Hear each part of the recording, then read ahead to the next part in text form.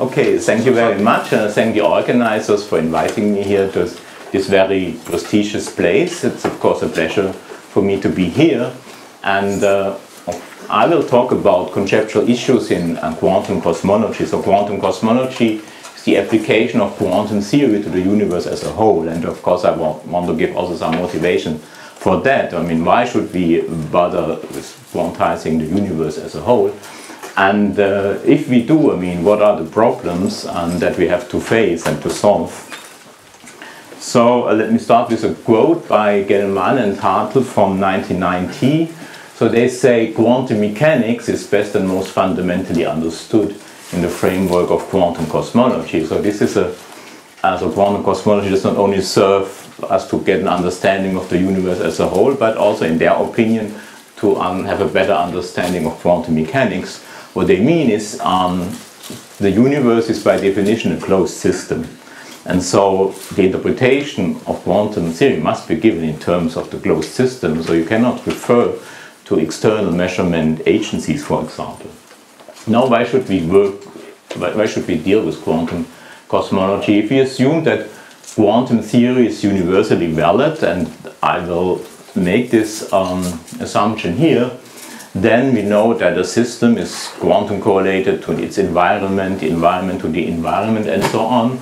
So um, the only closed system in the strict sense is the universe as a whole, and we should apply quantum theory to that. And only then in the second step, by noticing that at large scales, at cosmic scales, gravity is the dominant interaction, we need a quantum theory of gravity to describe quantum cosmology.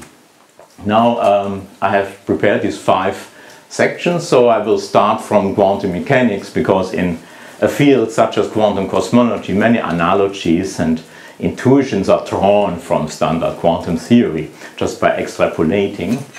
Uh, I will then say something about quantum gravity because we have to base the description on a theory of quantum gravity. And then um, the main part will be quantum cosmology, and in particular, one issue that I had worked on myself in the past how do classical properties, for example, the classical, a classical metric, emerge from a fundamental quantum description? And I will also say something about the arrow of time. It was already mentioned but was not discussed in, in, in much detail. Can we understand the emergence of the arrow of time, the emergence of irreversibility from such a, a framework? Uh, I have not included here discussion, detailed discussion of boundary conditions such as Hartle-Hawking proposal and so on, just for reasons of time. But of course, I'm happy also to say something about that after my talk, if if you wish to um, ask me. Um, now, the at the center of quantum theory of quantum mechanics is a superposition principle. If you open Dirac's classic textbook, I mean, this is how it starts. Uh, chapter one, the superposition principle, this is the central principle. Um, and what does it mean? I have here split it up into a more kinematic and then the dynamical version. So pure kinematically it means the following. So let psi 1 and psi 2 be two physical states. Then alpha psi 1 plus beta psi 2 is again a physical state with alpha and beta complex numbers. And if you have more than one degree of freedom, then this leads to the by now well studied entanglement, or how Schrödinger called it, Verschränkung between the systems. The classic example being the Einstein-Podolsky-Rosen entanglement, but we now have many other um, examples. Um, this is consistent, of course, or must be consistent with the dynamics. The Schrödinger equation is linear, so, so the sum of two solutions is again a solution of two quantum evolving quantum states. So from this you see that classical states, um, for example localized states, localized wave packets um, in space are form only a tiny subsystem, a tiny subset, so in the space of all possible states. So the, the generic quantum state is really a highly non-classical, entangled, uh, spread out state. Already in 1935, uh, uh, Erwin Schrödinger put it very clearly as follows. I would not call that one, but rather the characteristic trait of quantum mechanics, the one that enforces its entire departure from classical lines of thought. By the interaction, the two representatives of psi functions have become entangled.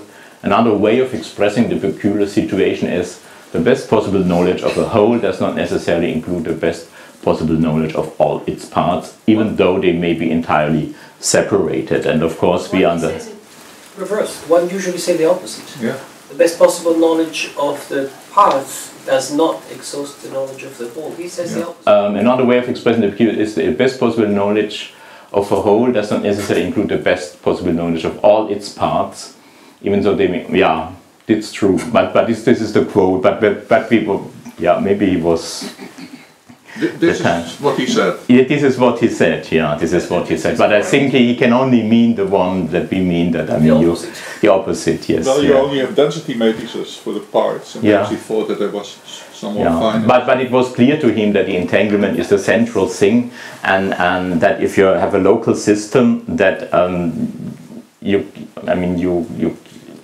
it's, it, it, it, it has incomplete information about that. Yeah, I have to check the original, No, but the original is in English, so it's not due to my translation. But it says the, if we know wave function of the full system, it does not imply the existence of wave functions for. Yeah, yeah. That in this sense, it's correct. Yeah, there are no wave functions for the parts. Yeah. What he's saying. Yeah, there are no wave functions for the part, that is so, but you can of course have the density matrices and, and from them you get information. Yeah. But in this sense it's correct, certainly. There, there are no wave functions of the path. Um, so there are now many tests of the, of the superposition principle and I think this year in the summer was an announcement that a Chinese satellite where you have superpositions entanglement between many hundreds of kilometers between Earth and the satellite. Um, a nice example is this one. So in Vienna, they uh, managed to make in- interference experiments with huge molecules, so not only small atoms, but these molecules that you find here in your blood, for example. So this is a biomolecule with this name, and these fluorofullerenes. And um, here is the interference pattern. So you, you, you have one molecule, uh, one single at one time that you bring through the multiple slit, and you see the interference pattern. Um, now, decoherence, yeah, this is one example. Decoherence refers to the emergence of classical properties. I mean, it, I do not give here talk on decoherence, otherwise I would have included also the history. Um, so the von Neumann problem of having uh, how to understand the, the non-observation of macroscopic superpositions and the like. Um, I would just here give the definition so we understand this as the irreversible emergence of classical properties through the unavoidable interaction with the environment. So um, it means that a, a, a quantum system in generally is not isolated. Most systems are not isolated, but they are coupled and un, they are unavoidably coupled with the degrees of freedom of their environment. So they become entangled.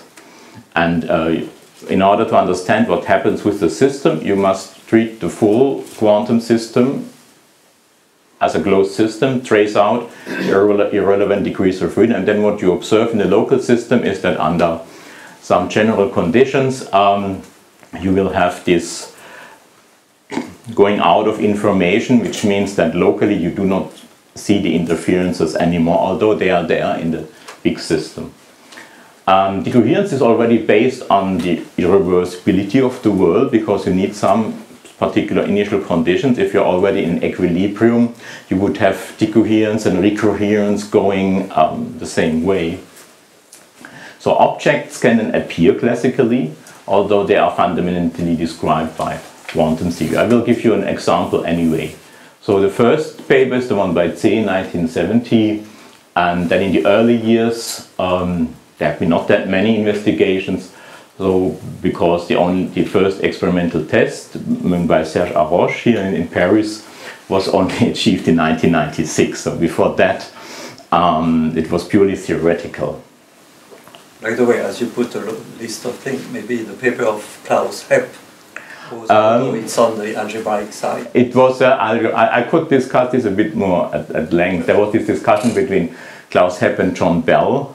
Um, where, I mean, Klaus Hepp made this formal limit, I mean, t to infinity, where all the interference went. And John Bell pointed out this is mathematically correct, but in physics we do not do that. At any finite time, he told Klaus Hepp, you still have these interferences there because Klaus Hepp wanted to get rid of them exactly Yes. at the classical limit exactly. But for all practical purposes. Yeah, for all practical purposes. Yeah, yeah. Yeah, yeah. Okay, you're right. I mean, that, that one could have some some others. Um, yeah. So this is an, one example. It's not the first one. It's a later example, also from the Vienna group.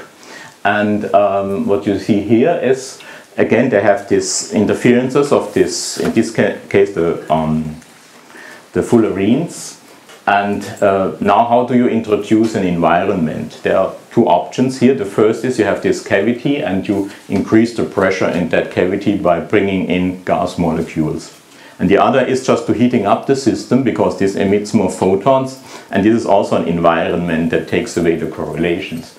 So in the first uh, example you see here this increase in pressure.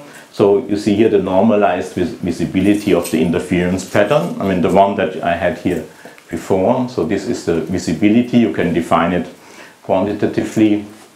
And so the um, curve is a theoretical calculation, not a fit, and these dots are the measurements. Here you heat up the system, and um, yeah, you also find this decrease of the interference pattern. So it is in this sense, and just the time scale is perhaps milliseconds or something like that. It, it is this decrease that is then a manifestation of what we call decoherence. Sorry, but uh, in the second case, it has to be that the photons that are emitted for the two paths through the interferometer are somehow in orthogonal states. It's not Um, completely clear to me what's, Um, I mean, for decoherence to lead to this suppression of interferences, different environmental states have to be approximately orthogonal. right. Right? And this is what usually is the case because you have here many photons. I mean, a single photon, maybe it's not yet enough, but you have here many photons, like here also. And so, if you have, um, say, these, these overlap factors, which are not yet orthogonal, but you, if you have many of them, then approximately the states are ortho- orthogonal. I mean, this means that the environment can discriminate between the different system states. So when I'm a superposition of here and here, and then uh, you introduce the interaction maybe with scattering photons or scattering air molecules, then these environmental states can then roughly discriminate between me being here and being here down to a certain distance. And for example, here in the room, it's the thermal de Broglie wavelengths of the gas molecules that is the fundamental limit to, to the localization. But the, are you sure that it's not internal degrees of freedom of the molecule that are decohering the position? Um, well, I mean, in the experiment, you first have the just the molecule. You make the interferences. You see the you see the interference pattern, and then you slowly uh, here increase the pressure by bringing more molecules. I'm talking about the. And here you heat up. You heat it up, and then you have more photons. Well, that's what I'm questioning. Are You sure it's- questioning this? Yeah, are you sure it's the photons and not the internal degrees of freedom of the molecule that matters? Um, I cannot see why the internal degrees of freedom. Well, suppose the, when the relevant. molecule goes through this slit, its internal degrees of freedom are excited in one way or affected in one way.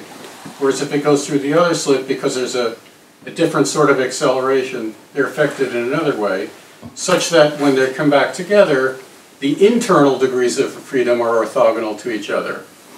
So even though the center of mass degree of freedom would have interfered, uh, they don't because they're correlated to different internal states. Well, I have not calculated this case, but my suspicion would be that this effect is smaller than the effect with the photons because this is um, an irreversible effect, and this irreversible effect, the photons, they, these they will go away.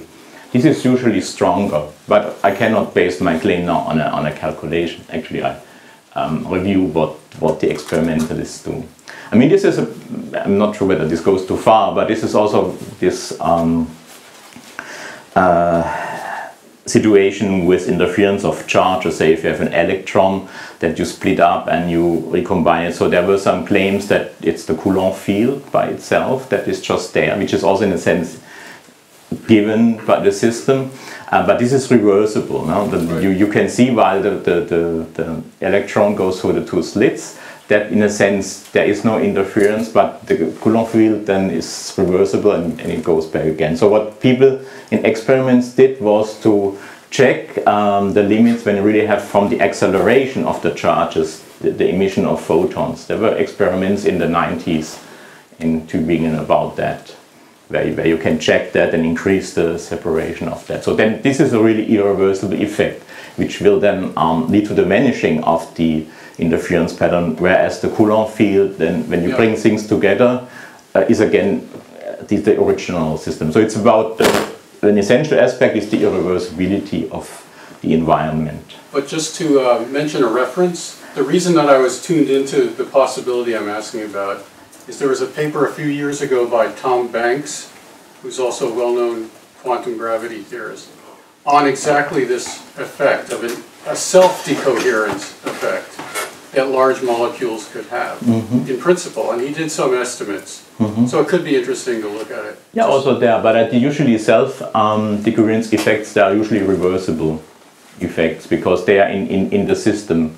And if you bring this uh, you, back again, then um, you, It's very different from a Coulomb field that's locked to the charge.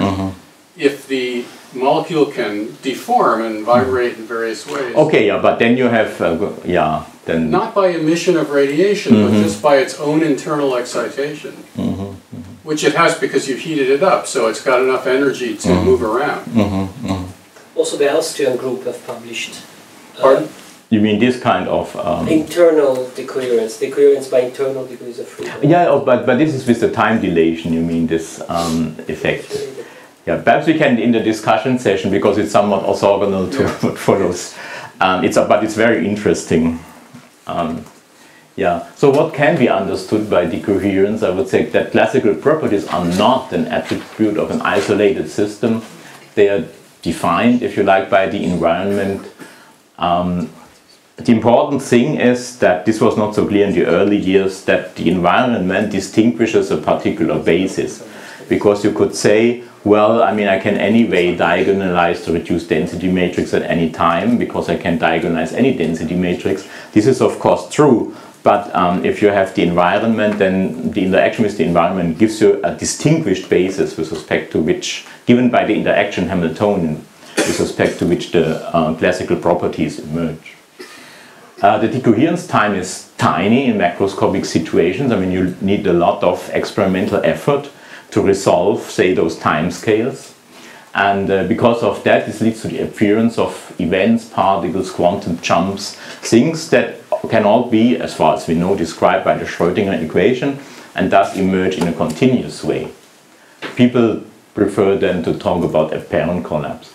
By now, in contrast to these early years, coherence is experimentally well established. It was especially mentioned in the uh, Laudatio for the Nobel Prizes for Haroche and Wineland in 2012. So Haroche in 1996 was his group was the first with the cavity, the quantum, the, the Schrödinger cats in the, in, the, in the cavity and their decoherence. And Wineland, I think the same year or soon after, did it with ions. Um, what cannot be understood by decoherence um, certainly it does. It's, it's, it's a process that is dealt with in standard quantum theory. So it uses just a standard formalism of quantum theory. So um, it cannot answer the question whether standard unitary quantum theory universe is universally valid or not. It assumes the universal validity. So uh, if the answer is yes, then the interpretation called Everett or many worlds interpretation holds, which is just the formalism without modification. Um, with decoherence, of course, as an important ingredient. If not, an alternative theory, so different fundamental equations must be sought. For example, the GRW type collapse theories um, or de Broglie-Bohm theories, which are somehow in between. Um, of course, there are open important questions such as why are there local observers? So decoherence only works because we have this hugely entangled quantum state and a, a subsystem, a small subsystem that probes this non-local state. Um, We do not know why there are local observers at all and why not everything is global. And the origin of ir- irreversibility is put in here. I will say something about that at the end from the point of view of quantum cosmology. So in the following, I will then study. I mean, this was the talk that I should was asked to give. Situation from a quantum gravitational field. so I will not talk about further things in quantum mechanics, and I will assume the universality of the superposition principle. So I will not discuss scenarios such as the one by Diósi or Penrose and others. Although you can ask me about that. Now I can also make connection to other talks. So um, important is the superposition principle. And uh, Feynman, in the famous Chapel Hill conference of 1957, uh, made the following point that if you have a Stern-Gerlach type of Gedanken experiment, so the silver atoms or the electron goes here and is split up, well, you have an inhomogeneous magnetic field, spin up is deflected upwards, spin down deflected downwards, but if you spin right, and it's in a superposition of upwards and downwards. So imagine this to be connected to a macroscopic system, such as a ball of one centimeter diameter, uh, such that if the uh, deflection is upwards, so ball is moves upwards and deflection downwards, ball moves downwards. So if um, it's in a spin to the right, then you have a superposition of the ball. And so Feynman argues you have a superposition of a macroscopic system with a, which, for which you can measure the gravitational field by a Cavendish balance. And you have to describe this by quantum gravity. So these are Feynman's words. If you believe in quantum mechanics up to any level, then you have to believe in gravitational quantization in order to describe this experiment. It may turn out, since we've never done an experiment at this level, that it's not possible. That there is something the matter with our quantum mechanics when we have too much action in the system or too much mass or something. But that is the only way I can see which would keep you from the necessity of quantizing the gravitational field. It's a way that I don't want to propose. Okay, others like Penrose want to propose that, but he not. And we have, at least in two talks by Steve and by Carlo, we, there was the reference to these new ideas about measuring this so-called gravitational or uh, cat states, grav cat states. So one reference is the one um, I think that Carlo mentioned by Marletto and Marletto and Vedral, and also there's the Bose et al. You had this nice picture, and I don't want to repeat it because you explained it nicely in your talk, but the point is you have this superposition of the masses, uh, or these two masses that you put each in a superposition that you only, that is only works, I mean, if the interaction is really by a quantum field, a gravitational field. I myself cannot judge about the feasibility of these experiments, but uh, I'm confident that this is possible in the not too far future. So this would be certainly. I didn't understand your point. Yes. You're describing quantum cosmology or quantum gravity? Um, I, I, I describe quantum cosmology, and I then argue that because quantum cosmology is at cosmic scales, I need to base it on a theory of quantum gravity. But uh, you say that the universe is an isolated system. Mhm. You don't have an observer outside the I don't have an observer outside, yes. So I didn't understand this link between the your first thing and the second one. I, I well, this actually is the purpose of the talk to, to make this clear as the talk goes on, because because I want to discuss then the decoherence and this, especially this relation to the first part. But I have not yet arrived at this. Sorry. So, okay. So what are the approaches to quantum gravity? We already heard about and uh, approaches. John Wheeler once wrote, "No question about quantum gravity is more difficult than the question what is the question, or what is the correct approach?" I should say here. So certainly the oldest and maybe still most conservative one is applying quantization rules to Einstein, to a successful theory of gravity, Einstein's theory of general relativity. Um, you can do it with covariant, using covariant methods. Originally just the perturbation theory, but now it's mainly path integrals, say dynamical triangulation or spin foams. Uh, or you need to use the canonical approaches, um, the original variables just using the metric, or later developments such as using the connection or loops. String theory, of course, approaches the problem from a totally different angle, starting with a quantum theory of all interactions from the very beginning and then trying to isolate quantum aspects of gravity in certain limits. In a sense, gravity there is emergent in string theory, uh, whereas in the earlier approaches, of course, it's directly given. And there are other approaches, um, fundamental discrete approaches that either have been devised by their own or they've grown out of string theory of loop quantum gravity. And here are some names of these. Um, before I go to one particular approach, which will be geometrodynamics, I would like to emphasize one point that was already emphasized by Gabriele Veneziano about the experimental evidence that we have for quantum gravity so far, uh, which is from the early universe. And so if you do this, if you believe in the inflationary scenario of, of the early universe and uh, the calculation of the power spectrum from inflation, so you start with a quantum vacuum state, where both uh, gravitons and matter fields are in their ground state, then you find that gravitons are created out of the vacuum during the inflationary phase.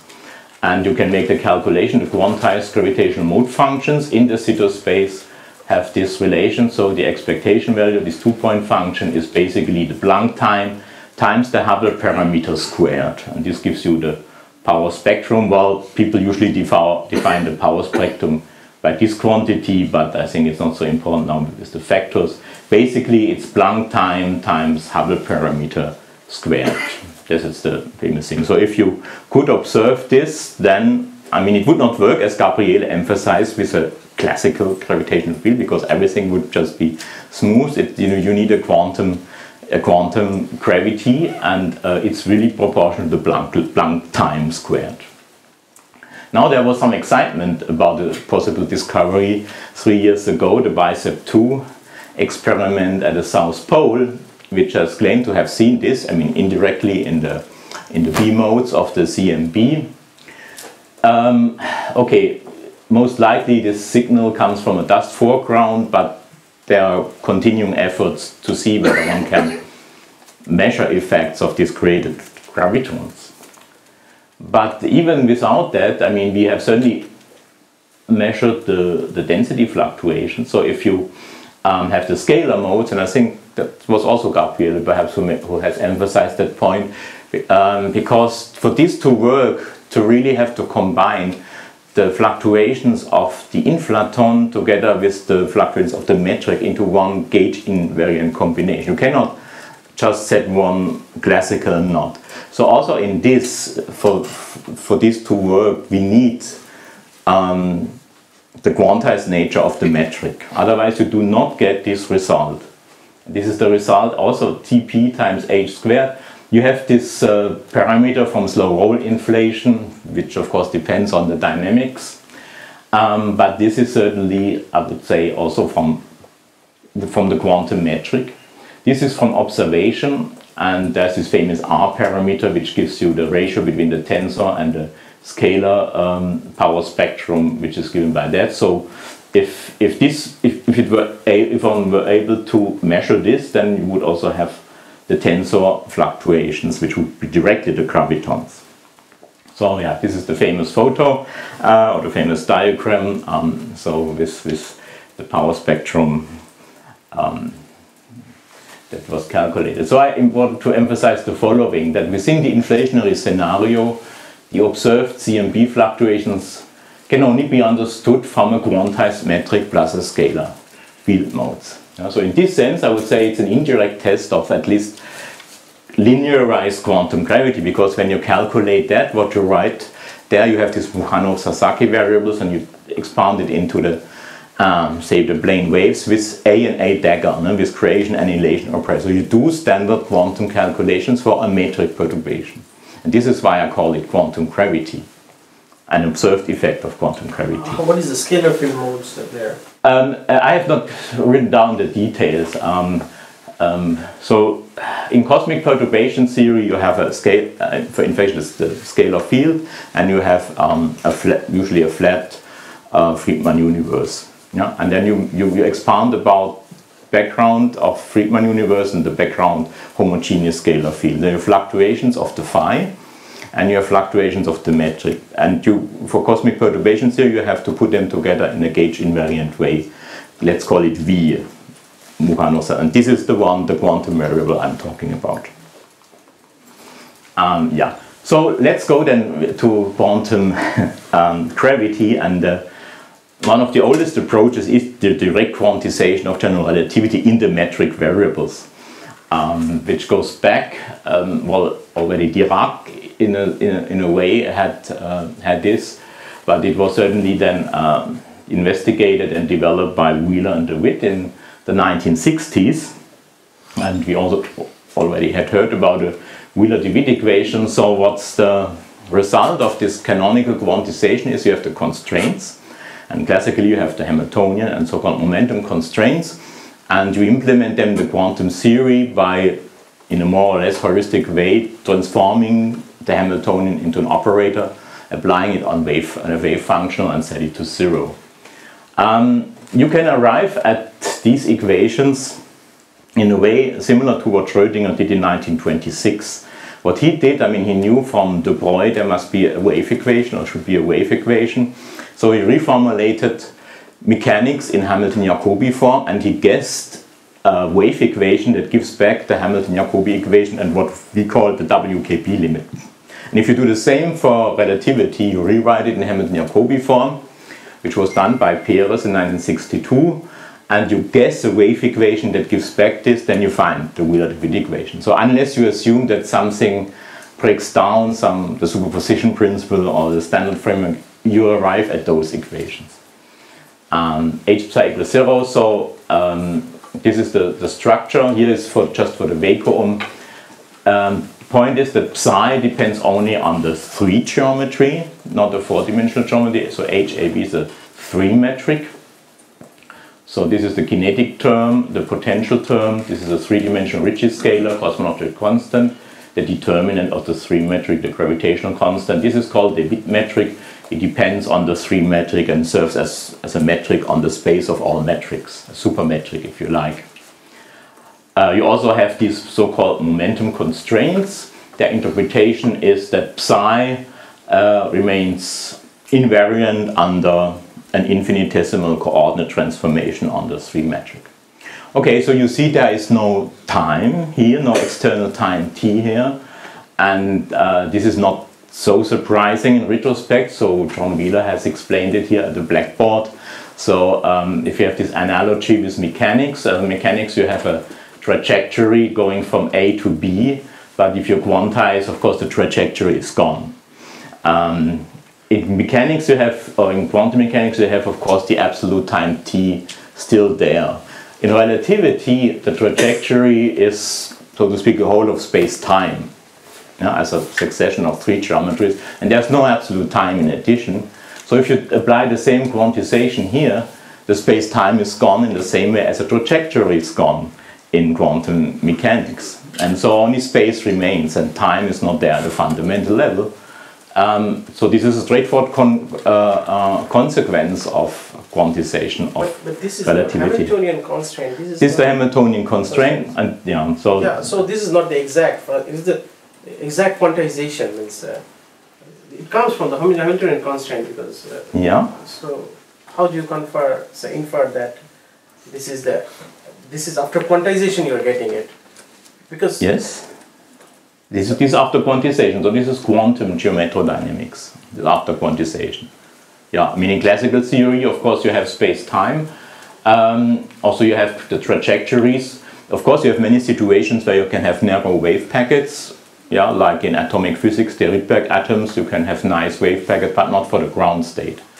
And also here, of course, you have situations where you have wave packets and others where you have non-classical features. So in a sense, it's both conservative and not conservative. Conservative from the point of view of standard quantum theory, um, but applied to a more complicated situation. Um, yeah, so here again, this is sometimes called the problem of time, although it's not clear whether it's really is a problem. so the external time t has vanished from the formalism, and it's understandable why. This also holds for loop quantum gravity. I think Carlo will uh, agree with that because it's also canonical quantum gravity. And yeah, okay, this one should discuss for, further, but also probably for string theory. um, the Wheeler-DeWitt equation, if you look it more carefully here, um, this thing is not a, a, a Laplace, but it's more a, like a D'Alembert operator because this has signature minus plus plus plus plus. So it looks more like a, a, a wave equation in the sense of an oscillating string. Uh, so you could, you could associate a so-called intrinsic time with it, which comes from the three geometry itself and is dis distinguished by the sign. And the sign basically comes from the, from the conformal factor, the square root of h. Um, I perhaps discuss, not discuss this in much detail. The Hilbert space structure in quantum mechanics is connected with the probability interpretation, in particular with its conservation in time, which is unitarity. But if you do not have an external time, the question arises um, whether you need the probability interpretation at all, or you need a Hilbert space at all. Yeah, so I think David once wrote something like that probability is only an emergent notion in the semi-classical limit. But the metric is not positive definite. G, G That- is it. Uh, the, the three metric is positive definite, But, the, but not the DeWitt yes, metric. So how yeah. do you interpret the probability here from density things? Um, I, I have not yet uh, discussed. I, I, this is a general uh, statement yet. Uh, yeah, of course, then you arrive. This has been discussed at length in literature about using the Klein-Gordon inner product or the Schrödinger inner product.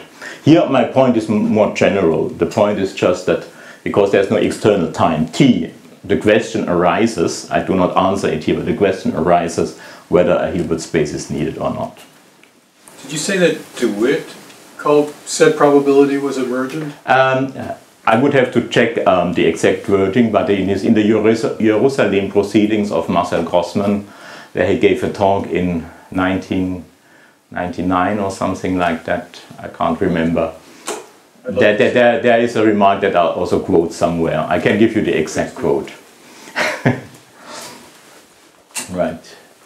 Yeah, so problem of time, it seems now we have a problem, um, especially in quantum cosmology, where everything is, is quantum.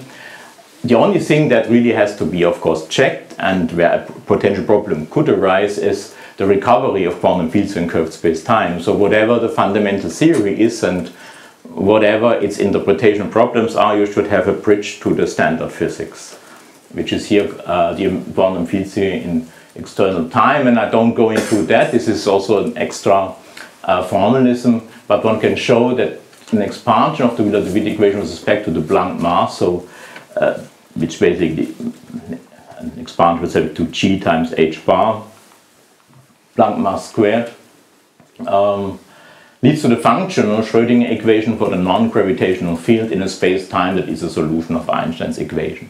So this is a formalism that is familiar from molecular physics, where it is called Born-Oppenheimer approximation, where you have um, the heavy nuclei and the light electrons, and where you can um, make use of the fact that the nuclei are much heavier than the electrons. So in the first approximation, they are more or less uh, at rest, and you can solve then the, the Schrödinger equation for the electrons in this configuration. Then the next orders give the corrections for the motion of the of the nuclei, and what is there, the mass of the nuclei becomes here the Planck mass. And this has been discussed already many years ago, and it was a, a topic in the 1980s, and there have been given derivations, different derivations, but more or less with the same result, starting from Lapchinsky and Rubakov, giving this that time is emergent and comes from from the from the as I will show you from the total wave function. Um, just to remark, uh, what, what we did then uh, rather early with, with TP Singh from Bombay was to, to go beyond that limit and to calculate correction terms to the Hamiltonian. So you have the Schrödinger equation for the non-gravitational field coming from this Wheeler-DeWitt equation. And if you go on with the 1 over Planck mass squared, and of course you get corrections 1 over Planck mass squared, um, which yeah, so with Andrei Barvinsky in 98, we have given a covariant picture of this in terms of Feynman diagrams. Um, and more recently, we have calculated these contributions to the CMB anisotropy spectrum. So you can do a calculation without ambiguities because in cosmic perturbation theory you have no problems with infinities and the like because the various modes are independent. You can calculate a correction to this result here. Yeah, so you get this result uh, plus a correction. Okay, the negative thing is that it's too small to be seen by any current experiment. But the expansion parameter, what is the ratio? And the ratio is, yeah, yeah, it is of course dimensionless. So, um, so you in, in, in the examples you always find, of course, dimensionless ratios, and here what you find is it's calculated within inflationary. See, so the Hubble parameter of inflation over m Planck squared. I mean, if I set c and so equal to one. So this, and then one can one get results. You have a, um, a violation of scale invariance, for example, and you have numerical coefficients, but uh, you cannot beat this here. So this would only be observable if inflation were closer to the Planck scale, which it isn't. The, I mean, the Planck collaboration gives here the limit that h is smaller than 10 to the minus 5 MP. So this is here, yeah. and this cannot be seen um, with the Planck satellite.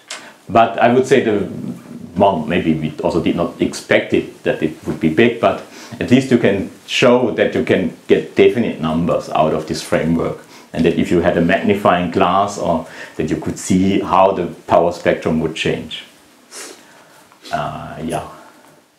Okay, but quantum cosmology means, of course, applying quantum theory to the universe as a whole.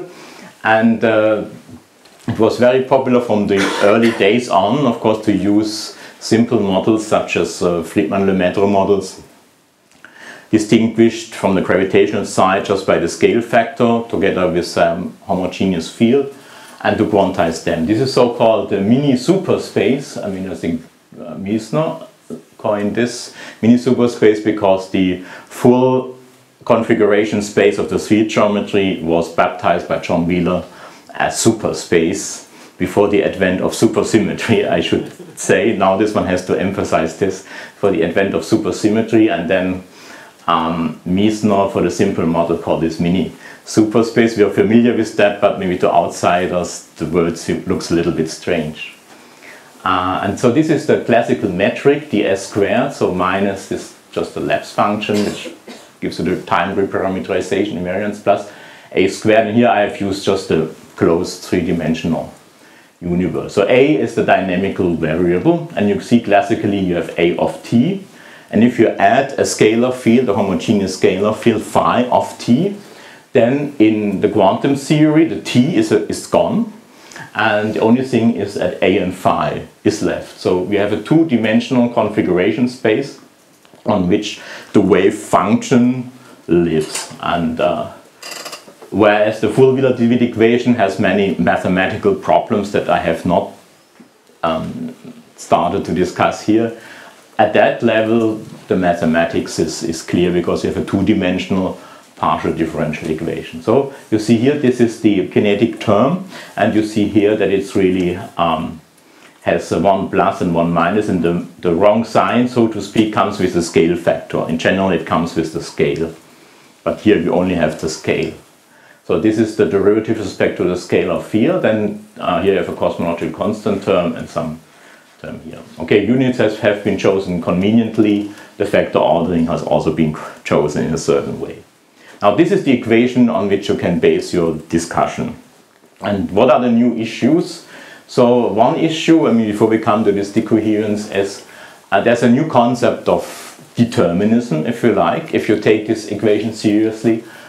Let us compare the classical theory with the quantum theory. So classically, say for, for two-dimensional model, here we have a recollapsing universe model. Okay, does not reflect the actual observations, but it's a model.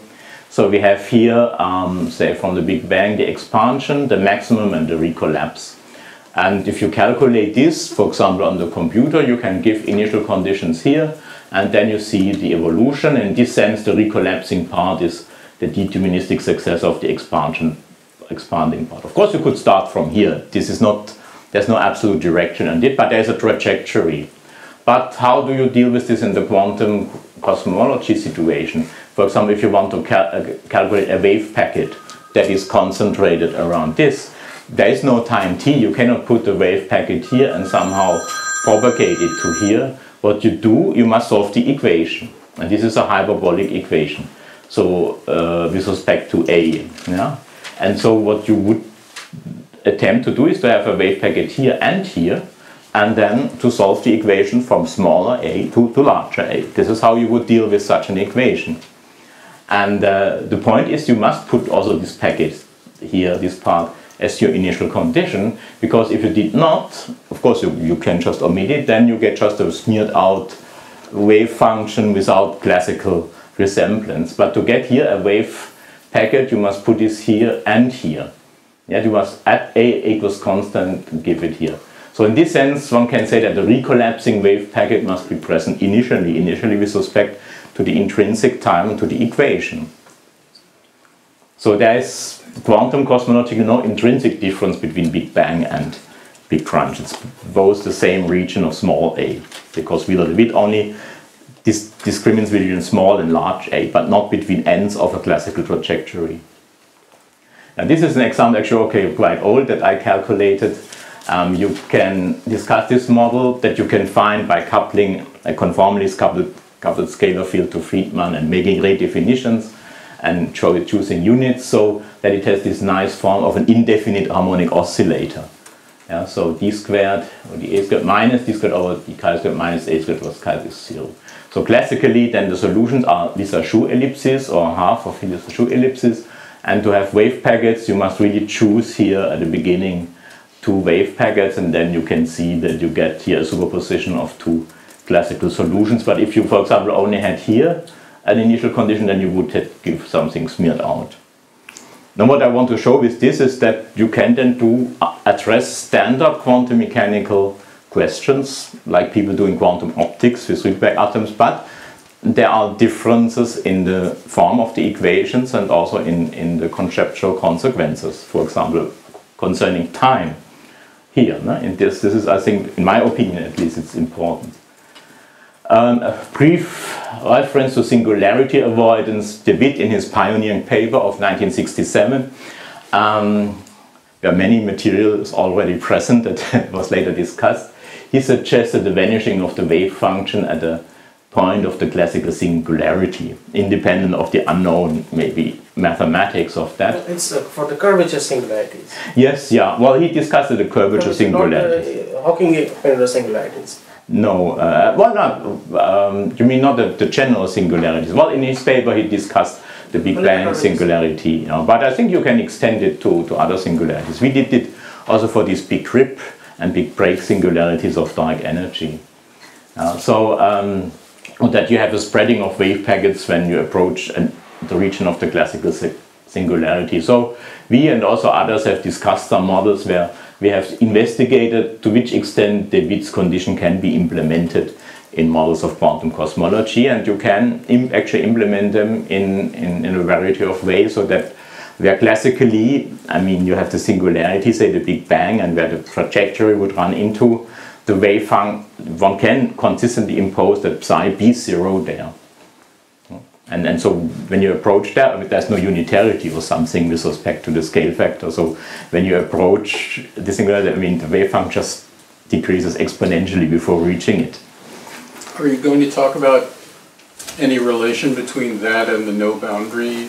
Uh, I, I would be happy to discuss also more about the no boundary condition um, if then time allows, maybe after having now discussed the decoherence. But could you just say in a word, do you think, is the boundary condition you just mentioned related to or equal to or? I would say it's uh, Totally um, um, the boundary condition, um, perhaps psi to zero.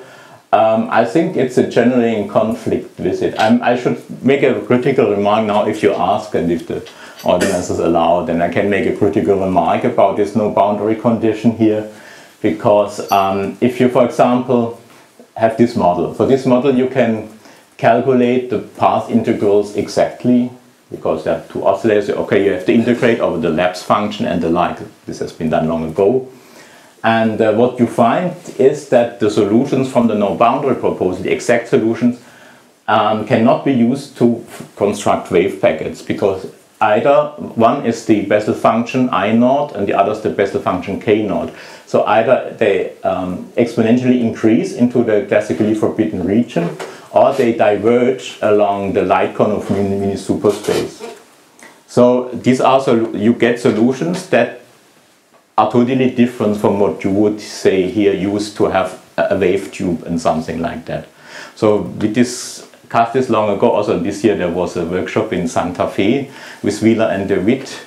And DeWitt was very much concerned about the no boundary proposal because of, um, well, this was not yet calculated, but in Hawking's example there was this exponential increase of um, e to the plus one half squared. And he was very much concerned about whether this is of use. And I remember Jonathan Halliwell was there and he said, Yeah, this is true, but this is a new interpretation. All these exponentially increasing branches we interpret as Euclidean branches that have to be omitted because they refer to, to other worlds. Uh, David was not convinced by that uh, argument. But I mean, you, you can say what. Um, um, I mean, the, I think the formalism is clear. I mean, to calculate the no boundary condition for this, I think, is also clear. And so the discrepancy is about the interpretation, whether you're bothered by the fact that there you get non-classical features necessarily of the wave function, and you cannot have something that corresponds everywhere to the classical uh, state, or whether I mean whether you're bothered by that or not bothered. But still, the semi-classical state does not correspond. Does not I mean the full, the exact, the exact. I mean, I'm, I'm not. I mean the semi-classical. You often have No, just e to the is's. That, that, the that, The exact state. classical- That even a, a wave packet that corresponds to a classical trajectory does not go well with the initial with the no boundary condition. Um, yes, yes, yes. Well, I mean, you can have many exact. This is an exact solution here. You can have an exact solution from the no boundary condition, which is then, if I remember correctly, um, you have this basically this Bessel functions I naught of something like this, I think, and this here. I think if you add a positive cosmological constant, things are much better behaved. This could be, yeah, yeah. I mean, this is not a proof, a general proof uh, of the full theory. But somehow, for such an oscillator, if it does not work here, yeah, yeah, right. You then the other op- option would be to look for situations where where this correspondence holds. There's no general rule, but also these uh, other older um, semi-classical results by Hawking of 84 and so on, which lead give you here this exponentially increasing pieces. Somehow, it seemed that they were not so, so easily avoidable. In the, yeah. So if you have in the classically forbidden region increasing pieces, so it depends, um, you should form your own opinion of whether we have a new interpretation or not. Um, yeah. So this for the no boundary condition. So finally the decoherence. Um, so in quantum cosmology, arbitrary superpositions of the field and matter states can occur. So how can we understand the emergence of an approximate classical universe? So this brings me back to, to the first part. Um, there, of course, we have standard quantum mechanics, and there's no ambiguity of the formalism and of the calculations and the interpretation. Of course, here you use the analogy and hope that they work to some extent. And uh, first, of course, for this we have to introduce inhomogeneities because for two-dimensional model there is no issue. Uh, there's no decoherence because we need many degrees of freedom, like in decoherence, the environmental degrees of freedom.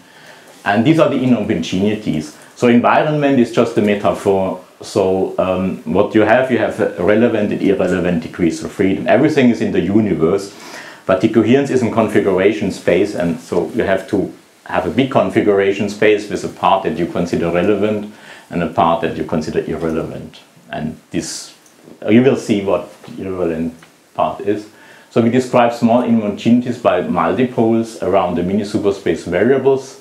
So this is what Halliwell and Hawking in 1985 did. So the Wheeler-DeWitt equation now has this mini superspace part and uh, has this immun part from the multipole expansion. And because we have cosmic perturbation theory, they are small, that they do not interact among themselves, they interact only with the background. This is indicated here. And then, um, this you can also do in this Born-Oppenheimer scheme. So if psi naught, well, if you have this ansatz psi, is psi naught a product of all psi n, and if this psi naught is of this form, is a slowly varying prefactor, then one can derive from this uh, approximately a Schrödinger equation for um, the psi n, where the i comes from here. So S naught is a solution of the Hamilton-Jacobi equation for the background. So it, it, it gives you the classical background, and d over t is the directional derivative. Uh, yeah, if this is not clear, so you have here, I mean, S naught equal constant hypersurface. So, so this gives you then, um, if you like, the geometric optic limits, and then you can associate formal trajectories with it, with that that you can parameterize by nabla as not nabla. nabla is here um, a and phi. So this you can call d over dt. I'm a bit short in that, but this is basically what it is. Um, yeah, and so you get an approximate time which one can call WKB time. It's the time that controls the dynamics in this approximation. Now the coherence, of course, might say, well, what is system? Before going to the, Yeah, sorry, I can. If you want very fast. Sorry, The back sorry, sorry. the back reaction of the inhomogeneities uh, on uh, Mhm. the zero mode. Okay. Mhm. Uh, can it be worked out completely, or has never Um, been? they, they will occur then in the next orders of the, for Yes. example, the Planck mass to the minus two you can get expansion. infinities also. Okay, just Yeah, so so the first correction is that you have this one over our Planck mass squared correction to the Hamiltonian, and also you can get a back reaction, which in principle gives then infinities, yeah, because ex- you can have these expectation values um, of, of the HNs, which you can regularize and so on. In, in a sense, you find the the old semi-classical Einstein equation as This an is- approximate thing. But this is a question, yeah. Yeah, yeah, but it, Corrections to the semi-classical, it's not clear whether they can be worked out completely. um, for the for the exact case, I have no idea whether they can work out. But in such examples, you can, because in cosmology you have you can think well, you have infinitely many modes, but you can think about natural cut-offs, for example, at the horizon of the quasi-de Sitter space. But this is not. Uh, I mean, we have not gone to that order here. So, so here innocently you do as if um, here there's no back. And in fact, then if you if you calculate the power spectrum from this, I mean, you using these Mukhanov-Sasaki variables and having the expectation value um, of of of uh, if the variables v, v, and v dagger with respect to the state, then you find exactly this spectrum earlier. You know? So at that level you find this and okay the question is then about the back reaction. So we have calculated one correction with, and higher order terms need to be regularized and yeah. This is not the back reaction of all matter on all gravity, it's only the back reaction on the slowly. On, Yes, on the slowly evolving degrees of freedom, so yes. Full gravitational matter interaction is still in the HN, most of it. Um, yeah, or if you have, so to speak, if you had nonlinear interactions here, which you have neglected. It's-. This is the nice thing in, in this cosmic perturbation theory that um, if you stop at just this order and having no interaction, that these uh, calculations work. The problems arise mainly if you also have these interactions between them. Yeah. And I don't claim that that this is solved. Yeah. So so so, yeah. Sorry if I'm if I'm too fast. Also, yeah. But as long as the chairman does not interfere. So um, of course you need to know what is a system and what is an environment. And I already emphasized that this is a configuration space. So you have to divide the configuration space into a relevant and irrelevant part. And the idea, um, okay, this scene is now already very old stuff, is that um, the system consists of global degrees of freedom and that the environment are then these dense, small density fluctuations and the gravitational waves. So there are certainly many primordial gravitational waves around which we have not under control, but which interact with the with the scale factor and the inflaton field. And so you can do calculations based on that, which I do not present here. It would perhaps be too boring to go to the details. This is only one example that I calculated a little bit later with my Russian colleagues, Barvinsky and Kamenshchik, because in this old paper, I, because again there I have to sum over infinitely many modes, which gives a divergence also for the decoherence factor, and I just made naively a cutoff at a Planck scale. I did not know better, but um, with the help of my colleagues, um, we have uh, implemented a more sophisticated regularization scheme, um, which I could explain, but which is perhaps not so important here, such that the sum over the infinitely many modes comes out as finite. And we have this finite, so this is a finite, uh, uh, the finite result for the density matrix of the scale factor. Uh, it comes from, I mean, the full quantum state after integrating out all these xn and after assuming, as one usually does, that they are in this Bunch-Davies initial state, I should say. So all of this is then in the calculations, but the calculations are not here. Uh, so only the result. And you see here, there is this um, non-diagonal term, h minus a prime squared. And you have here the a, and this is the Hubble parameter of inflation, and this is a numerical constant, a positive one. That um, for bigger a, I mean, these interferences are really suppressed. So the coherence, so the Gaussian is narrower for for bigger A. So the more the bigger the, the universe is, the more classical it, it, behaves. Even if you start with arbitrary superpositions from the very beginning. What do you mean exactly here by classical property? There are two, two interpretations I have in mind. One is that uh, uh, the diagonal part of the density matrix are small. Um, um, that, and what I mean is that the non-diagonal parts um, asymptotically vanish. So the diagonals and the density meter diagonals give the probabilities, yeah, so and the off diagonals give the interferences. So you don't mean at all that uh, the, the wave function itself is a is a semi-classical wave packet on a given classical solution. Mm -hmm. Not at all. It's, it's no, no, yeah, yeah. Then, uh, so yeah, I mean, what what I assume is that that are in this Born Oppenheimer limit. space, but it's uh, it's mm -hmm. Yeah, so you have. Um, wave functions like that, for example, e to the i i s naught of a phi times the product of n sine n a phi xn plus say basically because it's a real equation this here and times this something like that for example you have you know? Uh, and I use this limit here of the, because otherwise I, I, there is no issue in if of the time. Yeah, so so then you can you can this and I think I have in the next piece the analogy of this with the situation in molecular physics again. Uh, question. Yeah. This environment is unquantized. No, everything is quantized. Everything is quantized. So the environment is this, this, this wave function. This is the full psi with everything, with a phi and x. And the input was that I can somehow identify in the argument what is the background and so-called back. What is A and phi and what are the fluctuations?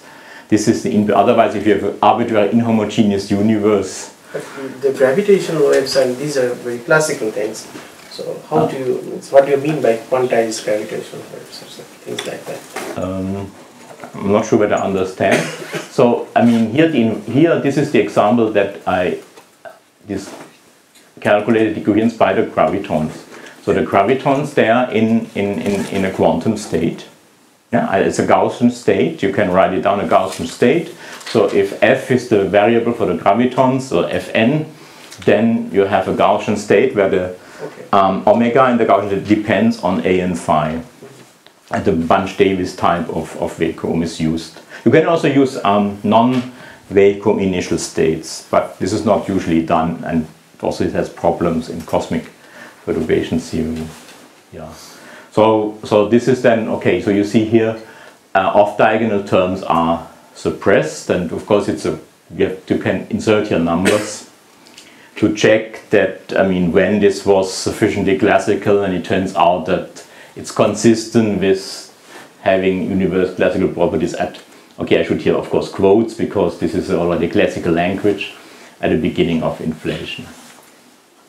Yeah, so this is the example from quantum mechanics. I mean here you see the Wheeler-DeWitt equation is real and this is why this is a perfectly well defined solution but time you only get from, from this branch or from this branch. So it only works if you have decoherence between the two and if there's no overlap because otherwise you don't get a Schrödinger equation. And in molecular physics we have a similar situation. There we have a Hamiltonian that is parity invariant but we find many molecules that distinguish a certain orientation, so-called chiral molecules, sugars for example. And um, so here is an a simple example, maybe ammonia. So there you have this standard double well potential. So the ground state is smeared out and the first excited state is also smeared out. But the local, localized state you find from a superposition of the ground state and the first excited state by having, say, left or right. And so um, the question whether you have here superpositions of these and really a parity invariant state, or whether you are in the left or on the right is a quantitative question. And people have calculated such situations by, for example, having scattering by light or air. And then you find quantitatively that small molecules still are in the superposition. This is why we have ammonia masers. So, so the, um, the nitrogen oscillates here. But if this becomes bigger and bigger, the coherence is more effective. Uh, and then you have a, a vanishing overlap between this and this, and you somehow have think you have only one of them. So you have for, for sugar, then the left-handed or the right-handed, but you don't have this superposition. So what was originally a paradox to the fathers of quantum theory, like the Hund's paradox, was Hund in 1927 has posed this question, is in a sense can be understood within standard quantum mechanics just by doing calculations for realistic systems. And in quantum cosmology you have this with the i to the e to the is null, e to the my components. For example, if you make a calculation such as this one, but with weak gravitational waves, um, okay, then for our universe, for our big universe, you find small overlap factors. Um, that so that you with this accuracy you can say that you can have either this or this or this you have no interferences with the other. By the way, in computing the overlap, does one need something like the scalar product? Yeah, yeah good question. but I can answer. so um, I, I had this voice about a full Hilbert space, but the point is that all what you need is here the overlap of these psi n's. And at that level here of the one omega you have the Schrödinger equation. So we only or I, we only use the standard Schrödinger Hilbert space for these modes xn yeah so they are normalizable. So these are the modes that are in their Bunch-Davies vacuum. And uh, so there's no ambiguity with that. So the open problems are here with the with the with the scale factor and so on so fortunately, this, this works. Otherwise, that would, we would not know how to calibrate the power spectrum um, of inflation and, and the quantum correction. Yeah. So um, once one understands the classicality of the background, one can also ask the question about the quantum nature of the fluctuations themselves, because they, according to the standard scenario, they serve as the seeds for structure formation in the standard way by having then leading to the um, stochastic properties of the microwave background. And of course, this only works if they themselves are classical to some degree. So that this we have uh, investigated uh, with David Polarski and Alexei Starobinsky some time ago. Lohmar was a student of us.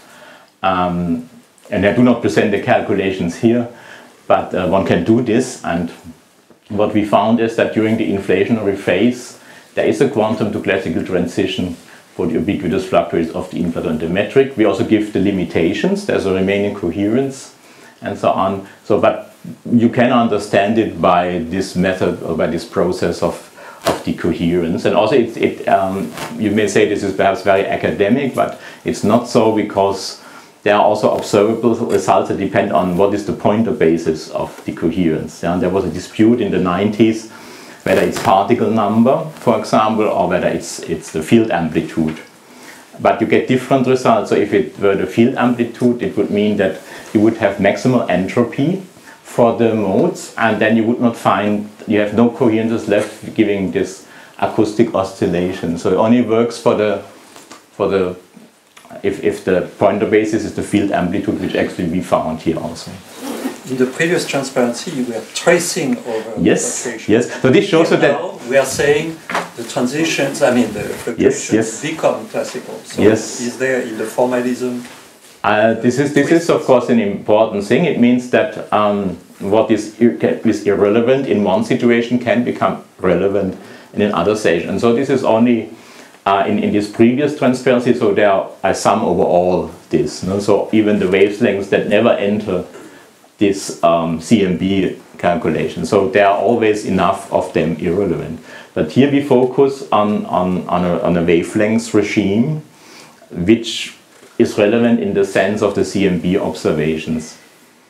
So they also interact then with, for example, one can have interaction of the these relevant wavelengths, which um, are bigger than h to the minus one in cosmic perturbations here, with the smaller wavelengths or with other fields that have to be added by hand, and then you get this. know.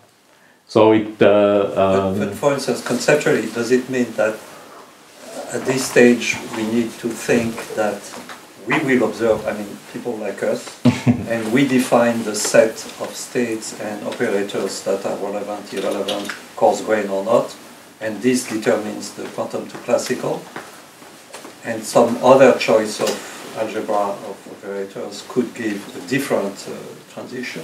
Mm, um, it's not really us, it's a, a, a consequence of the full Hamiltonian, the various degrees of freedom and the interaction between them. Yeah, so, in a sense. you need to say which class of things we are interested in. Yeah, okay, this of course we do, because we do cosmology, but I mean the interaction takes place even without us. Of course, it's we, we, we put in these assumptions also that we have a background and fluctuations, which is also put in. Okay. Yeah, and um, I understand your question. I could explain this also in more quantitative detail, but just saying that, um,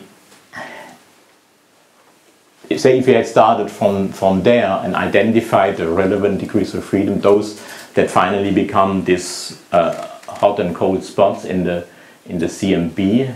Oops, here, here only then, and then I would say, okay, I leave them out in the calculation that I had done first, which are only about, say, the very small wavelengths that are never relevant in, in any case, and they, they suffice. Actually, they give the main contribution to these first results. So I could even, man, we have formally summed over infinite sum and regularized this, but one could have said that, okay, we have the relevant part is A and phi, and those fluctuations that can be seen in the CMB, and the irrelevant part are all the others. So this would perhaps be conceptually clearer than what I did. Here, thank you for your question. So yeah, um, yeah. So this is okay a famous uh, photo from the Hubble Space Telescope, just to emphasize that okay once we have the quantum to classical transition for the primordial fluctuations, we can take all the standard formalism for having the stochastic nature of them and having this, the usual cosmic evolution then to the to the large scale structure. So according to the inflationist scenario, then and decoherence, so all of this can be traced back to quantum fluctuations.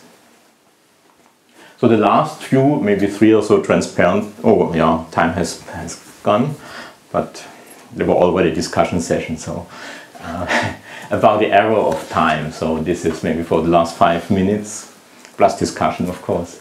So Pen, so Penrose some time ago addressed the question how special is the universe in terms of entropic arguments, and he concluded entropy of the observed part of the universe. I don't talk about multiverses here, just Hubble, Hubble scale is maximal if all its mass is in one black hole. And the probability for our universe would then be as follows. I have updated it some years ago using the accelerated expansion of the universe. So I have taken the Schwarzschild de Sitter solution and just the Schwarzschild solution and so on. But this is maybe only uh, gives only change in the number. So what he did was having e to the s, where s is the total entropy of the universe, over e to the s max, where s max is the maximally possible, where you have one black hole here in the de Sitter universe. This is the number here. So okay, so what is this number? This is comes from astronomers who have estimated the total S, I mean the non-gravitational part is from the CMB, this is around 10 to the 89, but then you have all these supermassive black holes in galaxies. So our supermassive black hole in the center of the galaxies has 10 to the 90 kb, which is already bigger than all the non-gravitational entropy in all of the universe. And if you add up all, if you estimate how many supermassive black holes there are, then you find this. And by the maximal possible entropy is this. When you see this is big, but uh, compared to that, it's negligible. So you have this very small number. And Penrose concludes from this, yeah, the universe is so special. It must, this must have a really a, a, a, a reason for that. It cannot be just anthropic arguments or something like that because the probability that we all emerge from a fluctuation with all our memories is of course tiny, but it's much bigger than this number. So this number seems to be so, so special that it has a physical um, explanation. Could you understand this in principle from, from quantum cosmology? So this is only a suggestion. I don't want to say that there are full-fledged calculation on it.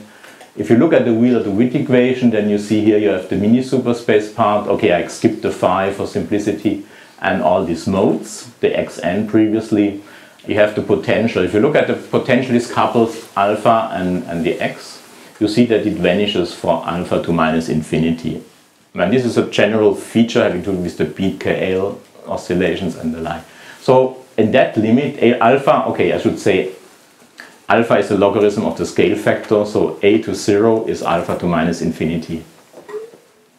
Um, so you have just a free, free fields, if you like, and so this is certainly compatible with this simple boundary condition that um, you, you have an unentangled initial state. Because you could have another initial state, I mean, not exactly at alpha to minus infinity, but at a whole range of the early universe. Because, yeah, if the potential is zero, then you certainly have the, pro the solution, which is a product state, which is not entangled. But if you put this in as an initial condition, then if alpha becomes bigger, certainly you get an increasing entanglement between all degrees of freedom. So we are at the level of the entanglement entropy, which featured also in the, the morning talk. And so you would say, aha, if you have all this, you, if you calculate the entanglement entropy in the sense of trace, roll, or grow after integrating out, say, irrelevant degrees of freedom, then certainly this increases with, with the scale factor naturally. And, but it would define then the direction of time. So it would not be that, not be that the universe expanded with respect to time, but somehow entropy is bigger for a bigger universe, and this would define a standard of time. So you would get in. Uh, the most interesting moment is hard. My train is sorry. yeah. Okay. We meet anyway uh, later. So uh, yeah, yeah. We come back to that point. Okay. Actually, Claus, did you? Is this uh, argument or calculation in a paper of yours? Um, uh, the argument is in the paper. Yeah. We we try to. To, to return to that and to also maybe some calculations. It then this problem ends with the unknown Hilbert space structure of, of alpha and the like. So you the argument is simple because you get increasing entanglement, but you must also calculate numbers and um, you get naively some infinities and okay. so this is this I have not done yet. But we, we actually this is uh, we, we are thinking about this further to to um, regularize this and to get them. Num what the numbers will mean I don't know. Also, of course, you have to make the step um, between the entang from the entanglement entropy to the thermodynamic entropy for the standard second law. But this can be done. I mean, Asher Peres' book, it's nicely explained. One can use that, for example. Yeah. Yeah, so we have already some time ago uh, with we have discussed the arrow of time in a recollapsing quantum universe. At that time, recollapsing universes were more popular than today, and also they are more interesting So Penrose in 1979 has made this Weyl tensor hypothesis that the Big Bang is very special and the Big Crunch is very generic. So here you have these stalactites, the black hole, Weyl tensor diverging, here Weyl tensor zero and so on. But I have argued earlier that um, the Big Bang and the Big Crunch are more or less the same in quantum cosmology. I mean, they are just small a, so they, are, they have no intrinsic definition. So if you base it on a quantum cosmology model, then of course you have this picture. Yeah, so that you have radius zero, radius zero, and you have here maximum extension, and you have here a time symmetric picture. So this gives you back the old situation discussed by Thomas Gold long ago that you have an arrow of time in the sense of entanglement entropy from here to here, but also you would have it from here to here. So you would not have a classically returning universe. Whether this is true or not, this I don't know, but I would say it's a um, it's a direct consequence of the equations if you take the equations seriously. Is it clear what I mean? Or Are you saying there are retarded potentials in one side and advanced potentials Yeah, in the other? right. That everything is really time symmetric? it's really time symmetric, but there's no classical connection here. There's no so this is a quantum. Sorry. So what what happens here is you have these expanding branches, but they interfere destructively at the maximum. So entropy goes from from small a, I mean increases, yeah, and you have many branches, and then they, there is um, destructive interference, and that's it. So you only have these branches with expanding. You once you reach the maximum, you, I mean, you exit the classical approximation and you interfere destructively and I mean the classical world is gone. So there are no paradoxes like the one discussed by Paul Davies that you classic if you had a classical connection that you're from the other part you have advanced radiation. So this sense it's, con- it's consistent and you need this if you don't have this um, um, destructive interference otherwise you would again get exponentially uh, increasing wave functions in the classically forbidden regions which in no boundary conditions you would, you would get. But here we have just this situation with the wave packet, and, and so psi goes to zero um, beyond the classical maximum of it. So the equivalence for local beings like us living near the moment of thing, Mm-hmm. what do they experience? Oh, they would experience actually they would we would uh, until very close the coherence, at least in these models, would would be very strong enough. So we would not see much, and within a rather short time, I mean the other, yeah, what how this will well, actually we would not survive as what Gell-Mann calls IGUS, information gathering and utilizing systems, because you would have interference. Like uh, in, the, in, in the Vienna experiments, where they have the big molecules. So I think some of them speculate with making this for a virus. So, and if the virus had some rudimentary conscience, then of course would also have destructive interference, would not survive as a classical IGUS. And also here, I mean, we, would- we would also come to an end. There would be some, whatever, how we f- experience this catastrophe, like the virus in the Zeilinger experiment. And, and that's it. You know? and, and there would be only observers having um, um, seeing an expanding universes. There can be no others, if this is correct. But do they see exactly the same universe? So is Um, only one half universe? Um, you mean mean these other branches? Leibniz in, in this Um, inability of identicals, how is it? Um, Identity of. I would. I think it would be the same like um, like in the quantum mechanic interference experiment. If you have, say, if you can imagine um, the two vi- viruses uh, separated, they, they would experience more or less the same, but they would be in the in the experiment at different positions, of course. But here, I would say it would more or less, for example, if you have this component, which would be then interfering with this component. Um, it would more or less look It the is same. It's complex. It- It's a complex con. This would be the same, like yes. Galois, it's exactly the same. This, yeah, but you could also have other components. You could have another.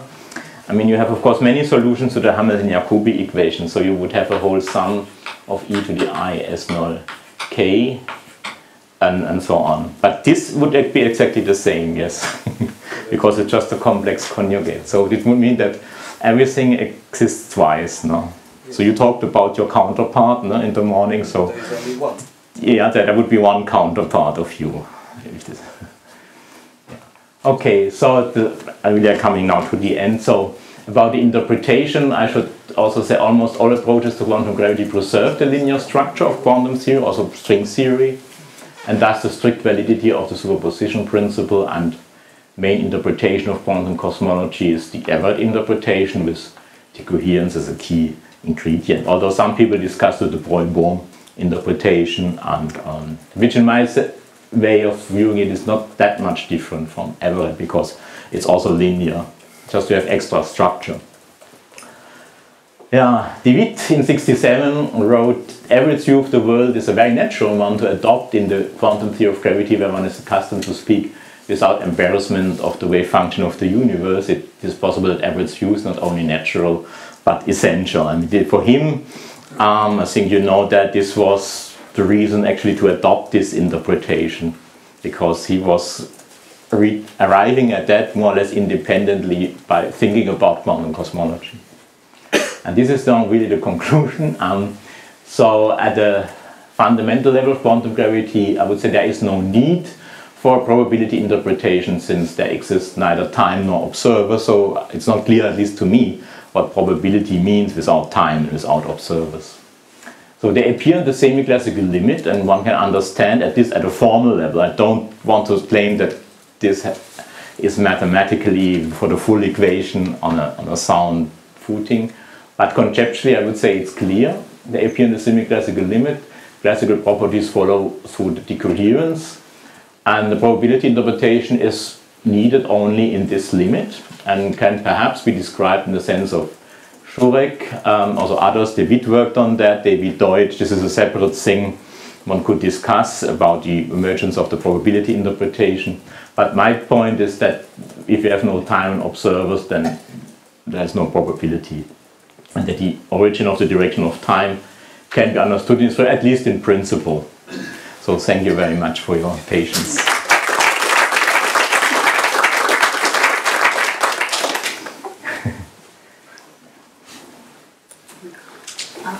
I, I, have a question about one of your slides. Can you uh, gonna go back to the Wheeler graph?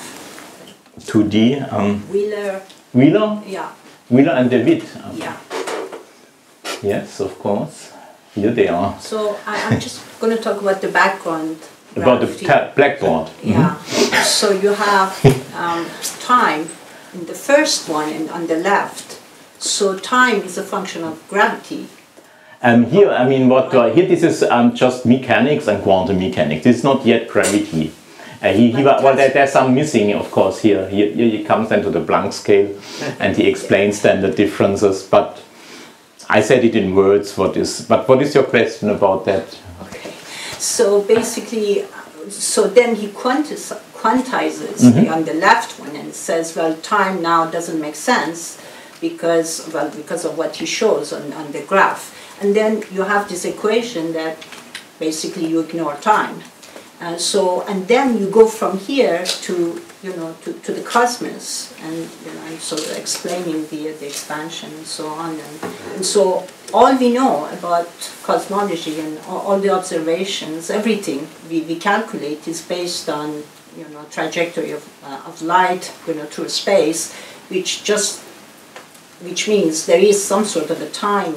Uh, Yeah, element and it's this. WKB And- time. And so that time. time, the time you observe universally is, is a function of gravity of some kind.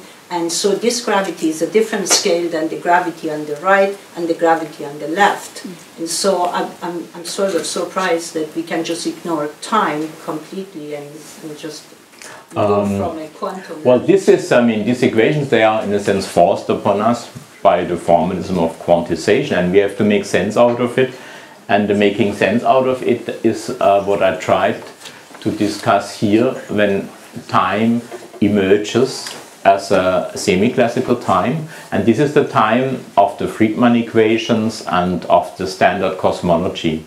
So the standard cosmology with the standard time is valid as long as this approximation is valid and, and we have decoherence. So there are situations then where this does not hold. For example, in these expanding universes, this destructive interference, which is far away from the Planck scale. Yeah, so quantum theory is much, quantum gravity is much more general than just Planck scale physics. I mean, if you believe in the superposition principle, or say in near the Big Bang, when you have the singularity avoidances tied to zero, then certainly these approximations break down, and you have to resort to the full equation. But this is sufficient, I mean, to do what we do in cosmology, for example, calculating the power spectrum, doing light propagation in cosmology. Or you would argue with that? I just, you know, logically, it seems to me if you can quantize uh, a particle, you can quantize time, you can definitely gravity Quantization will of time change its form, and so it's That's just logically, if, if we are working on different scales, that simply you cannot ignore time as a function of gravity. It's This just is a not constraint, possible. this is a Hamiltonian This is a Hamilton constraint, so it's not that I If you chose have that. Dirac Um, quantization procedure, you actually have to, there is a procedure called quantization procedure, and Dirac actually formalized this. Yeah. This is, if you follow the Dirac formalization, then you have to have this equation. This, Mhm. this is, this is Hamiltonian constraint without any evolution. There is no time, that's the main point. There is anyway no time to quantize. Well, that's my argument. that- Yeah, there is no Yes, time. there is no time, external Does not time. exist In the equations.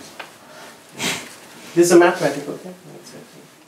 And, and there's a physical explanation as uh, Wheeler, and if, if you perhaps like, it's still nice to read the Battelle or lectures of John Wheeler of 1968, um, where you Geometrodynamics. yeah, the geometrodynamics very in detail, and yeah, there, there's also yeah, he wrote a book in German also about that, but the, the English is in the Battelle Rencontre.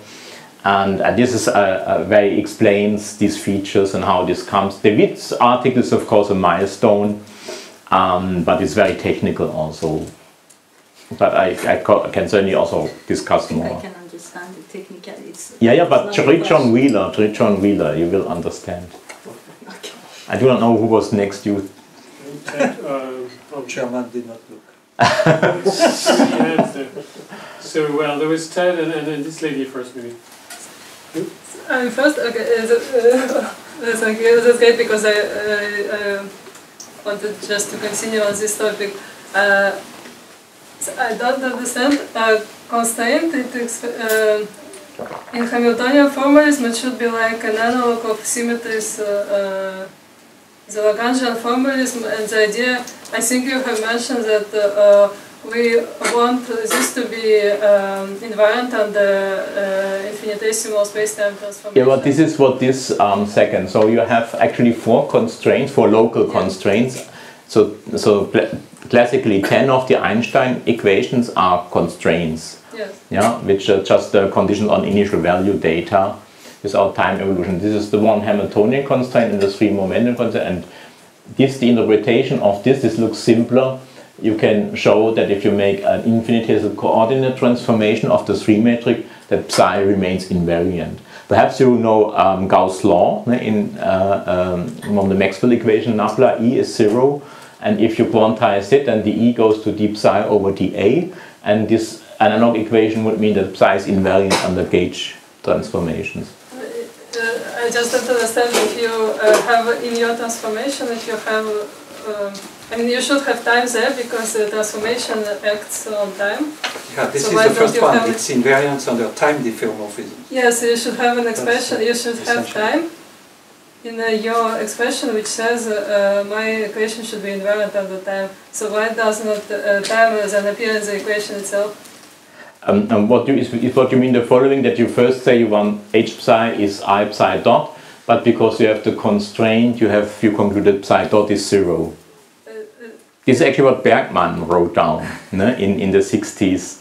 So he said, okay, I want to have h psi is, i psi dot, but then you have the constraint, this is why psi dot is zero, which is another so way of saying so that. You don't have time at the moment when you impose the constraint because otherwise you don't have anything to act on. Um, I mean, Yeah? when you have this, these are exact equations from general relativity. And, and, and so all the information about the quantum theory is in this equation. And, and, and, uh, and, and to wonder about the absence of time would also be, say, like in quantum mechanics, to wonder about absence of electron trajectories, which people have wondered in the very early day, of course. But I think we, we know that there are no electrons not on a trajectory. It looks like you're still you're first acting on time to say uh, uh, my equation should be invariant on the time, and then you say, okay, if it is invariant, then I can forget about time. Uh, no, and what I say is there is no time, no? because space-time is no longer existent, like the trajectory is not existent. H dot doesn't exist. Means H, if in physical metric, H dot means if I have a time, then H dot doesn't exist. Mhm, yeah, yeah, This yeah. from this momentum constant. Yeah, there is no t here. There is no t. There, there is no t here. It comes from the. Lagrangian. If you the full Lagrangian, if you write them and if you find this time like the time components means if you like to compute, it's undefined. You can't compute. It's in the DeWitt paper. There, No, but you are confused by changing time means you, you move the slice of space-time. Mm-hmm. You have to slice it by something, Yeah, and you can move it example is. I think I can answer that. I mean, there, there is a subtlety here. Um, so this is working in a canonical formalism. In the canonical formalism, instead of having a picture of space-time, you have a picture of trajectories of your configuration and momenta. The bottom uh, three constraints there, the metric here, the spatial metric depends explicitly on spatial coordinates, and the, the bottom three constraints here are just saying that when you change a spatial coordinate infinitesimally, the wave function remains invariant. The top constraint is, the Hamiltonian constraint is supposed to be the equivalent of saying that if you change time infinitesimally and look at the corresponding change in the metric, that the wave function is invariant under those changes. But because it's working in a canonical formalism, uh, that is technically only true up to equations of motion. So what it says is that, what that constraint says is that if you have your wave function as a function of your metric, uh, you change the metric infinitesimally by shifting your time coordinate. And then you translate that change in the metric back into just a change in the functional form. That the wave function is invariant under that particular kind of change in the functional form. And so in that sense, it is saying that you have invariance under changes in your time coordinate in the same sense that you have invariance under changes in your spatial coordinates. And that's why the time coordinate doesn't appear anymore. It's because if, if you're defining time as the t in your, in your metric, and you want to say, well, what is, if you know the wave function at t equals zero, what is the wave function at t equals one? I can say, that's just a coordinate transformation, I'm just changing from t to t plus one. So that kind of time translation doesn't show, can't be there, and that, that picture of time evolution as evolution in terms of some coordinate can't be there because the coordinates don't have any real meaning. So you have to go back in and figure out, well, what do you mean by time then? And that's hard. In this case, this is using the, in this model, it's using the size of an expanding universe as a measure of, of time. Yeah, so- thank you. I think uh, partially it explains the the question. Yeah, thank you, Steve, you. for this. yeah. So I, had, I was very intrigued at your statement that um, until time, into, except in conditions where time becomes well defined, you don't need probability. So apparently your view on this whole formalism is that we have a quantum gravity, uh, I don't know if I should call it a theory or a formalism, but is what I want to get, what I want to ask you about. We have some formalism which in some special uh, subset of configurations or wave functions requires an interpretation in terms of probability and time. So my question is, what do you make of it when you're not in that situation? Does it have no interpretation? Is it physics? Is it saying something about the world? Or is its only applicability or meaning to the extent that you can make that time has emerged and you have defined probabilities? Um, I would say that it also in the timeless situation makes statements about the world. Okay, so but what are those statements? I, yeah, I for see example, in this, mathematical statements, but what do they mean physically?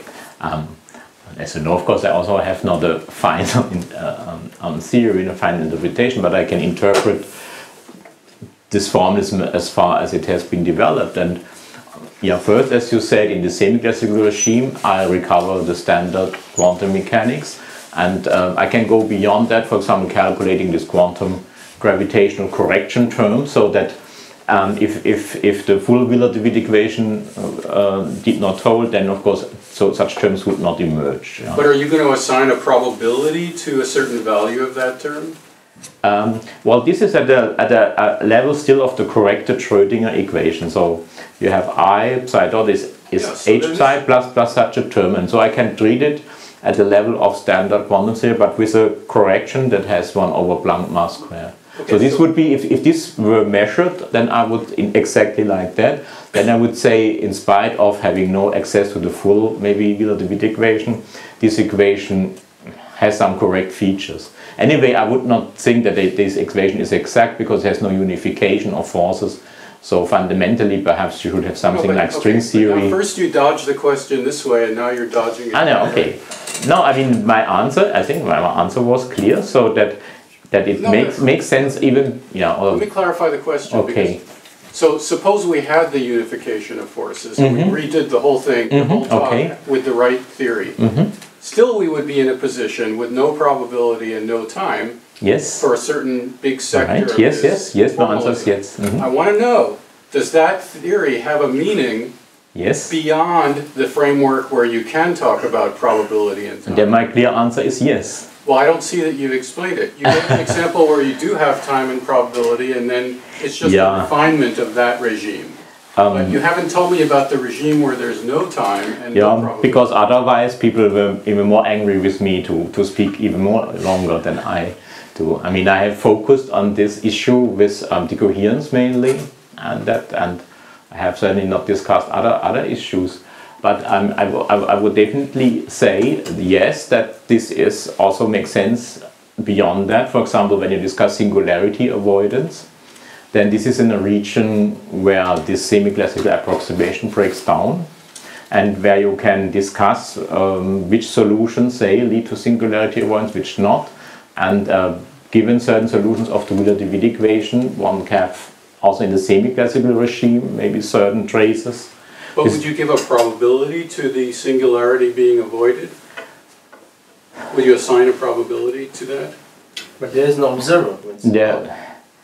There is And no what are you saying about it? That's exactly what I'm trying to get at. Does the theory make any statements about anything I would say that beyond probability Um, interpretation? I would say yes. For example, if I really understood this equation fully and I find that necessarily psi is zero at the regions uh, where, where there is uh, classical singularity, then of course, Okay, um, then I, I, I, that probability, you would say, then I again make probability statements because No, I- equals like zero answer very much. makes, makes, saying- makes zero probability. But in this sense, yes, I would say if it you. may say what's forbidden without saying, assigning probabilities to other things. yeah. Okay, that's. At this heuristic level, yes, I would say yes. I, actually, I followed DeWitt in this, um, in this respect, what he did in '67. So that in the, that that psi equals zero there means that this is forbidden, or or, or otherwise spoken. No, to, you, Huh? you have, it has to be consistent. You either you impose psi equals zero or you show it's consistent with the evolution with the Wheeler-DeWitt. You mean that for for non-vanishing psi? It's a postulate.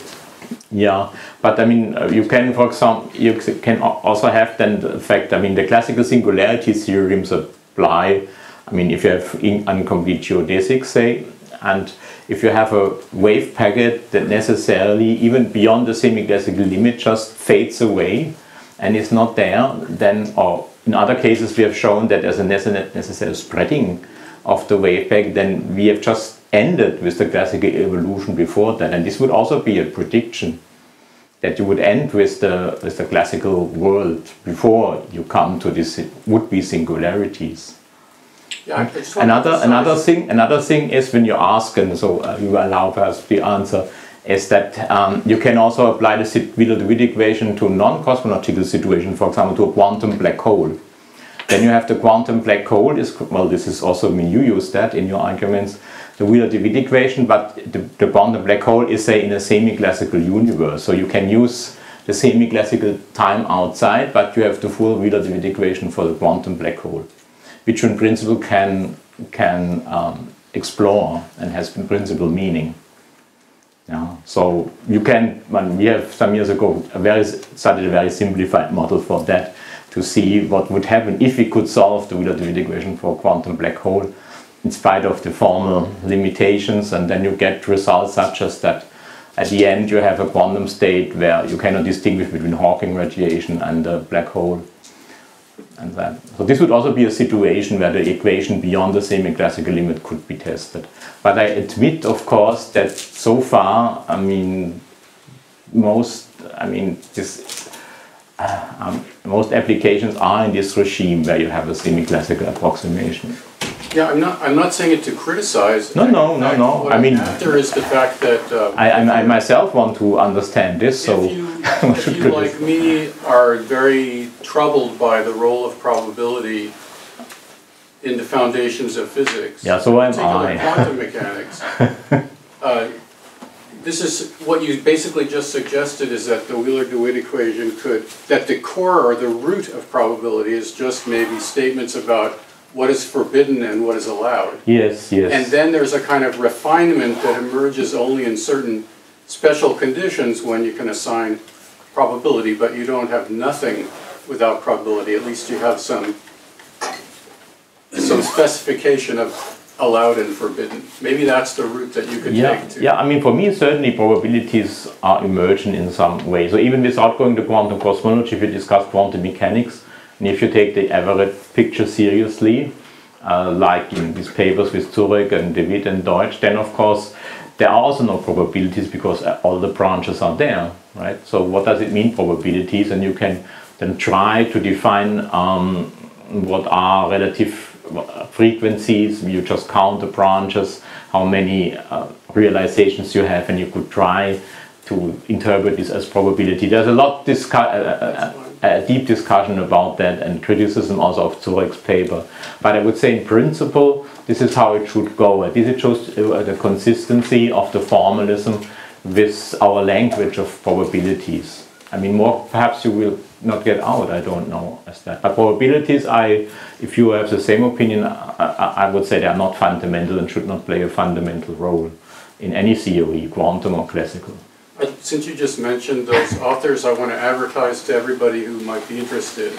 Another source for, uh, two sources for arguments that derive in that sense probability, that precede all the ones you mentioned. Uh huh.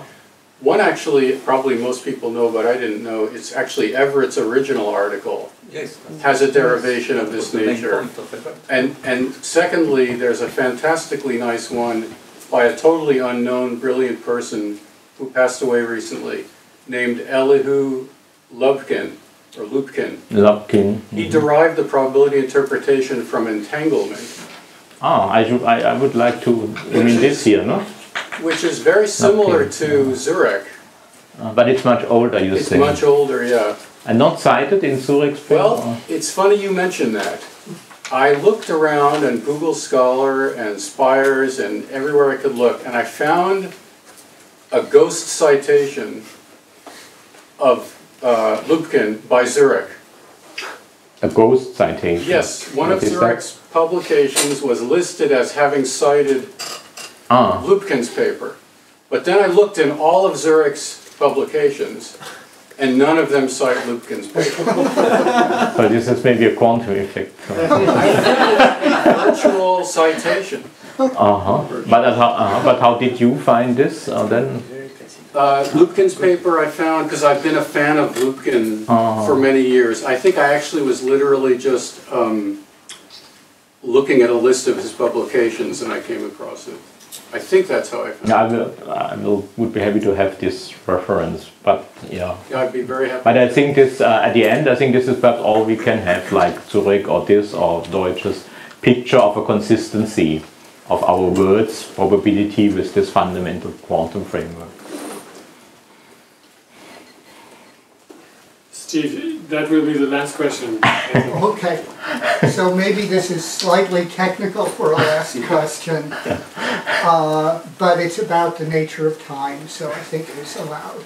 Um, In your final arguments about the time symmetry and Big Bang, Big, Big Crunch, those arguments seem to rely very heavily on your choice of the scale factor as your time variable.